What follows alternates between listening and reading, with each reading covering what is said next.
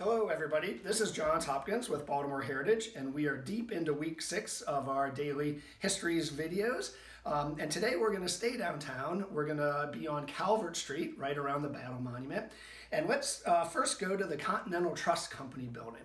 It was built in uh, 1901, before the 1904 fire, um, and that's going to be important in a second here.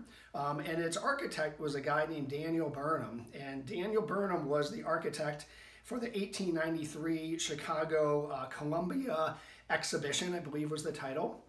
Um, if you've read the book, The Devil in the White City, um, uh, that's the Burnham that we're talking about. Uh, he built the building. The 1904 fire happened, um, and the building was damaged. It was right in the heart, the heart of the 1904 fire uh, burnt uh, zone. Um, but Burnham built the building with a skeleton of steel work inside. one of the earliest examples of using steel uh, for the structure of a building. Um, and after the fire, uh, Burnham came back and took a look at his building and he sort of majestically announced that it was as good as the day it was built and uh, that they could go ahead and clean it up and reuse it.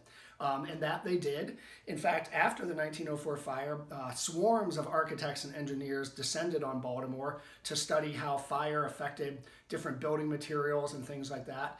And if you've ever been to the Engineers Club uh, on Mount Vernon Place, um, they got their start actually uh, after the 1904 fire with uh, engineers, professional engineers coming and taking a look at what worked and what didn't. And steel definitely worked. In fact, uh, steel worked so well, if proven by Baltimore's fire, it's one of the reasons that it took off and became the predominant building material that it is today. Um, probably the most uh, famous person to work in the Continental Trust Company building um, was a gentleman named Dashiell Hammett. Um, he worked for a, a, group, not the Continental Trust Company, that was a financial firm, uh, which incidentally, uh, one of the things it did was put together a bunch of Baltimore gas and electric companies and combined them into what we now know today as BG&E. But uh, Hammett did not work for them. He worked for a company called the Pinkerton Detective Agency. They're the group that uh, was hired by uh, sort of robber barons, railroad robber barons, and, uh, and mining company operatives to go squash labor unrest. Um, but Dashiell Hammett didn't, uh, didn't stay with them for long. He became a novelist.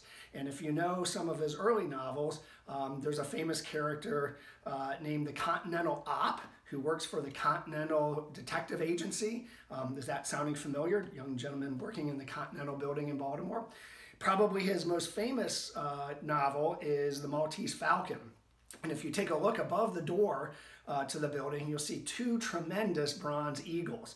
And we don't have a whole lot of proof, uh, but I'm not sure it's too much of a speculation to see a young man walking to work every day underneath those eagles, later on becoming a novelist uh, and making a connection with uh, the name of his novel to those eagles. All right, let's go up the, uh, up the road a little bit, just a block, and we're going to talk about the Clarence Mitchell Courthouse. Uh, we're going to spend a whole five minute video on Clarence Mitchell, so we're going to skip over him only for now. Um, famous and important uh, civil rights activist. But let's take a look at the building itself. And I want to focus on really two or three things. The first are the incredibly large columns uh, up on the second floor. Uh, the building was built in 1900, I believe, um, and its architects were a firm called Wyatt and Nolting. And they got the commission to do this from the U.S. Treasury Department. The building was built as a federal courthouse, and the U.S. Treasury was paying for it. So, by the rules of the game back then, they had a national competition, and those two won um, with their design that includes these enormous columns.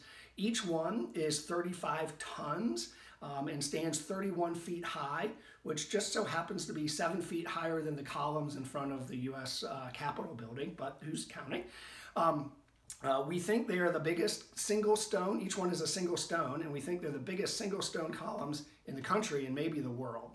The other thing, if you look right above the main door, you'll see two tremendous lions, or, or a number of tremendous lions, um, last time we talked about lions as grotesques to keep away evil spirits. Um, certainly no evil spirits coming in the front door there. And even if you go to the side doors, the wonderful bronze side doors, you'll see lions on the uh, door handles as part of the door handles. So if you're an evil spirit and you want to try to sneak in the side door, um, kind of forget about it. All right, we're going to go to our third building, again, just up the block a little bit. Um, and this one is the former Federal Reserve Building. It was built in 1926, so a little bit later. Um, and it was uh, the Federal Reserve Bank's building in downtown Baltimore. The bank uh, then went on to have a number of different buildings, and now I believe is consolidated. I think it's a single building is the, the, the big building by the stadiums. But for a number of years, it acted as the Federal Reserve. Um, incidentally, there's a, there's a huge reinforced tunnel between the Federal Reserve Building uh, and the former U.S. Post Office Building, which is now the courthouse on the east side of Calvert Street, um, used to, I guess, carry securely cash and securities between the two.